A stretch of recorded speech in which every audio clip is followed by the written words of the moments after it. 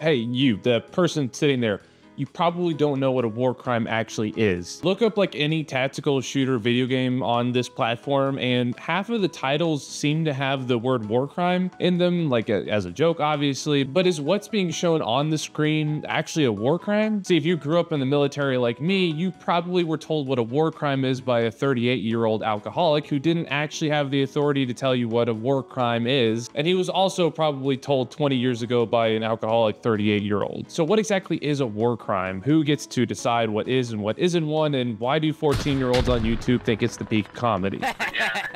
Let's get started. Now, you might be surprised, there's not just like one piece of paper that constitutes what every war crime is. Your mind probably just went to, oh, the Geneva Conventions, obviously. And then some like edgy Facebook comment is gonna say, oh, don't you mean the Geneva Suggestions? That joke was funny like 15 years ago. Please just get new material. But the Geneva Conventions have only been signed by a handful of countries and also some things up for interpretation, just like any other set of international rules. And there is no one master list of them. Each country has a few or just no signed agreements that determine what they will and will not allow their military to perform in times of war, and this leads to a lot of misconceptions. To add to this, sometimes a country will sign a document that outlines illegal conduct of warfare but doesn't ratify it, meaning they'll support it, but they technically don't have to follow it. The United States, for example, has five international agreements signed and four domestic laws on the books, each, of course, being hundreds of pages long. Some of these go back to the 1700s and are written about as clear as mud, but the newer ones are written in such dense legalese that you basically need a law degree to even begin to understand them. Of course, if you're a 19 year old grunt hyped up on Zyn and bang energy drinks, you're not going to care about any of this, which actually poses its own entire problem of fitting the laws of war into something that every soldier can easily follow. The problem being, how do you package all of that into a simple set of rules that means that said 19 year old doesn't have to learn what the word tribunal means. The UN, I think, gives a pretty good definition across the board of what a war crime is. War crimes are those violations of international humanitarian law, treaty, or customary law that incur individual criminal responsibility under international law, and they must always take place in the context of an armed conflict, either international or non international. The UN also basically operates as if everyone has agreed to the same list of war crimes, even if they haven't. So basically, you're putting your military at risk if you violate the more common ones, even if you haven't signed or ratified anything. Basically, if you are in the 99.74% of countries that are in the UN, you're going to have to follow these rules whether you like it or not. And if you do break them, it's considered a war crime at the international level. Ironically, though, there are a lot of things that aren't war crimes, but people seem to love to think that they are. Let's take the classic example. You can't use a 50 caliber round on a person, usually followed with a tongue-in-cheek comment that you have to aim for their water can or something on their body for it to be legal because you're targeting their equipment, not the actual soldier. This is not a war crime, like at all. People seem to forget that uh, the Army and Marine Corps have under barrel grenade launchers that shoot 40 millimeter rounds that explode on impact. But for some reason a 50 cal is deemed too overpowered i'm not following. I think this follows the same logic as those guys who for some reason brag that even if you miss with a 50 cal round it's strong enough to like rip someone's arm off. If you miss a person and they the bullet passes by within like a couple of feet it'll rip a, a limb off. Which is just fundamentally not true because this is not all gillied up. But the same thing goes for shotguns, flamethrowers, white phosphorus rounds, and MRE spoons. Literally all of these are allowed, including incendiary weapons, but with a little asterisk. So let's just talk about that real quick. Incendiary weapons are defined under the Geneva Conventions as weapons or munitions designed to set fire to objects or cause burn or respiratory injury to people through the action of flame, heat, or combustion thereof, resulting from a chemical reaction of a flammable substance such as napalm napalm or white phosphorus. But really the only real restrictions on these kinds of weapons is ensuring they don't cause undue destruction, at least in the context of civilian and non-military targets. And that makes sense, you know, if you need to destroy a building, maybe just drop one JDAM on it, you don't need to napalm the entire city block. Because if you did not know, fire does spread, and if you start a small fire in building one, there's a good chance it's going to spread 100 buildings down the road if no one's there to contain the fire, which they're probably not if it's an active war zone. What this boils down to is that if you're a commander on on the ground and you want to use incendiary weapons and you're in more of a hybrid space where you have civilian infrastructure and military targets, you have to take special care that the weapons that you're using only affect the military targets and not the non-legitimate civilian targets. But this also busts the other common myth that you can't use white phosphorus on people because it's considered too torturous or something. And the reason you can use white phosphorus on people is that the fumes from white phosphorus aren't what kill you, It's the burning particulates that do, and then turn you into a crusty husk of a human being. Believe it or not, there have technically been no recorded casualties in history of the fumes from white phosphorus killing another human. Uh, they said the same thing about killer whales though, and you're not going to find me climbing into Shamu's enclosure. I'll leave it at that. Now the rules that regard the actual outlawed ammunitions and weapon types are kind of a little bit all over the place and logically don't make sense a lot of the times, and you have to look at it historically why those things were made. So for example, under the Geneva Conventions, if you run across a 17 year old scared conscript with a plastic fork, it is completely legal to burn them to death from 50 feet away with a flamethrower. But you know what's not legal?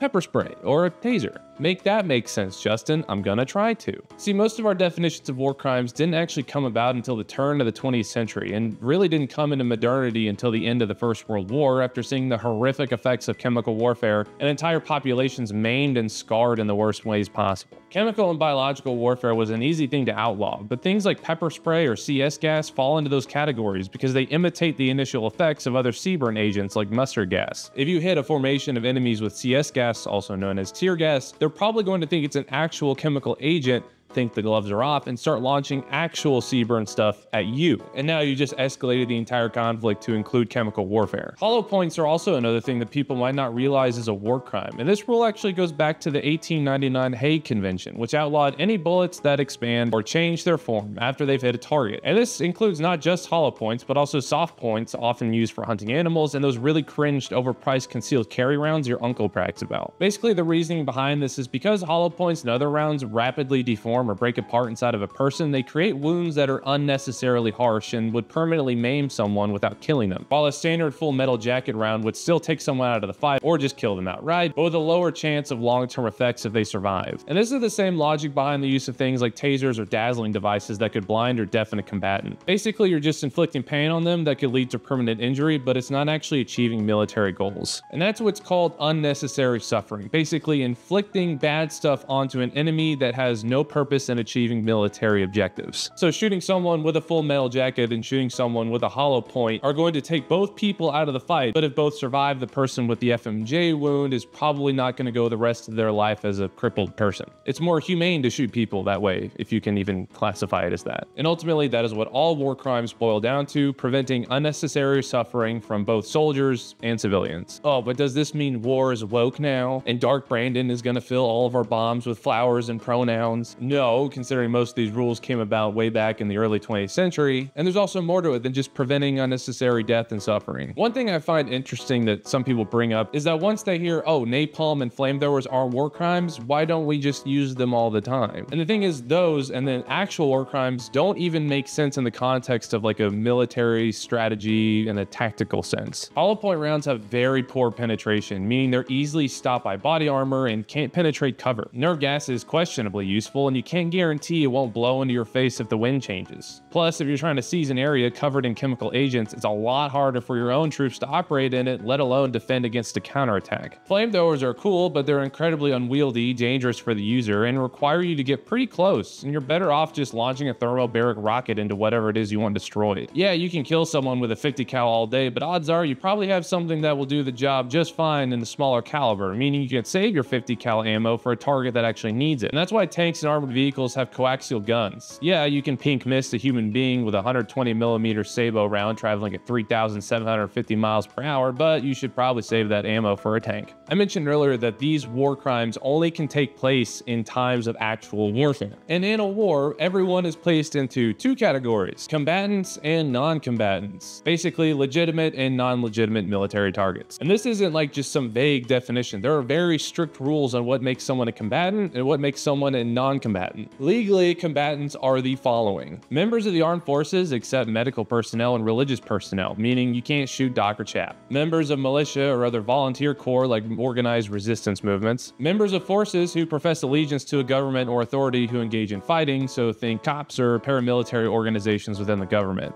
And then finally, Levée en masse, basically unorganized civilians who have taken up arms against an army. So your buddy with a cheap AR with red parts who can't run a mile will fall into this category. In order to be considered a legal combatant, you also have to distinguish yourself very clearly from the civilian population. And if you don't do those things and you still fight, you lose your rights as a prisoner of war. And if you're captured when that happens, well, I hope you like dimly lit, damp rooms and never seeing your family again. Being a combatant legally means that an enemy army can basically do whatever they want to do in order to take you out of the fight. But it's actually pretty easy to lose your combatant status, almost as easy as your mom. See, combatant status only applies to someone who's physically capable and willing to fight, meaning if you're too injured to fight or you surrender, wham bam, you're no longer a combatant and it's illegal to kill you. And this rule also comes into effect with the attack on parachutists law. Basically, if you start your day as a pilot and as an amateur skydiver, once that parachute deploys, you are now an hors de combat, as the French say, and cannot be shot anymore. Uh, worth noting, if you're a paratrooper, it's just full game from the second you exit that aircraft. Now this brings us to the part of the video where I talk about probably the most commonly debated aspect of what is and what isn't a war crime, the double tap. For those of you who don't know, double tapping typically implies that once an enemy is down and you are clearing through an objective, you give them one last dose of intermediate rifle cartridge in order to ensure they're actually dead. The idea is that you don't want to risk getting shot in the back by someone who either not as wounded as you thought or is just faking being dead, which is itself a war crime. There have been full peer-reviewed published studies on this topic, and even the best studied, nuanced answers to the act of double tapping is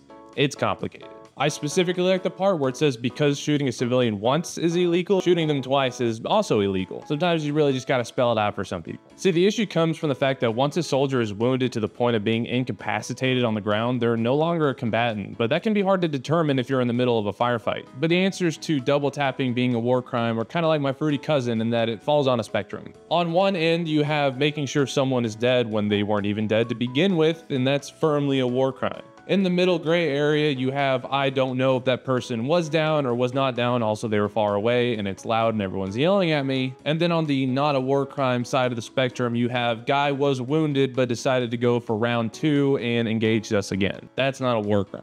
Believe it or not, it's actually illegal to shoot a dead body, even if you were a thousand percent sure that the person is dead, like they have no head or something, because it makes it harder for the body to be identified, according to Articles 15 through 17 of the Geneva Conventions. Growing up in the Army, I was always taught if they're in front of you, it's not a war crime, valid target. If they're behind you, you can't turn around and shoot them because that's a war crime. I always assumed some UN ref would pop out of the woods and call offsides or something, uh, but I don't know. For the US, this is all codified into the Law of Armed Conflict or the LOAC, a 1,254 page document outlining how things like pillaging villages, stealing livestock, and other acts of innocent tomfoolery are all outlawed and will send you to jail. Now, if you're just like an ASVAB waiver with a third grade reading level, how are you on earth supposed to comprehend and keep all this in mind while in a war zone with people actively trying to kill you? The answer is ROE, or Rules of Engagement.